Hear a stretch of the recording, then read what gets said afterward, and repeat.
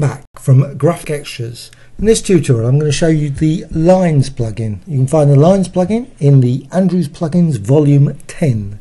It's for PC, Photoshop, PSP, version CC, CS6, etc. 32-bit unfortunately. Would be nice if it was 64-bit, but it's only 32-bit.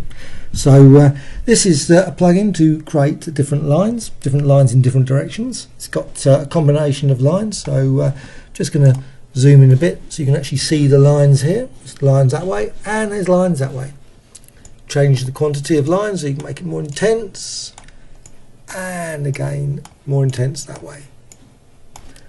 Also mix the lines in different ways and also you can modify them across channels so that's actually the red as well as the green create different unusual color effects using that you can also mix the lines with the underlying image. And I'm just going to reset at that point. Go the other way. And again that's available modifies the red and green and blue channels. Well that's the basic functionality of the plugin. And I'm just going to quickly show you the uh, tweak option which actually applies different randomizes all these different settings so you can see that you can create thousands of different line designs very quick and easy. And I click OK at that point and the line effect is just applied. And it's pretty glaring so uh, of course sometimes in this case you might actually want to apply other effects after you've uh, used the the filter. So I'm just going to quickly say like distort or something. So you might want to do a, a wave or twirl and you can create I'm just going to see what it looks like.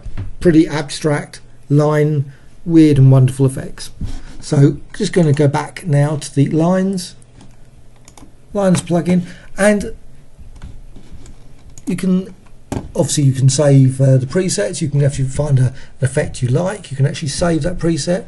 Also you can apply different blend options. There's a hundred different options that combine the underline. Obviously it's pretty garish there's even more garish color there. So you can keep uh, creating very unusual effects using the blending.